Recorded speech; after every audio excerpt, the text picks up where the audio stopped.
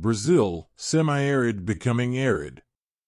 It is November 11, 2023, and the Satellite Image Processing Laboratory and the Federal University of Alagoas have detected that the Brazilian Northeast has areas of desert.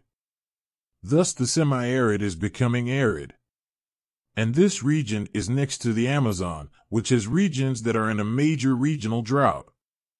This indicates that the territory is heading towards desert areas, which show the consequences of climate change caused by human destruction. What could happen is that people from these regions migrate to others that are less dry, and areas that used to be planted cease to be, damaging agriculture.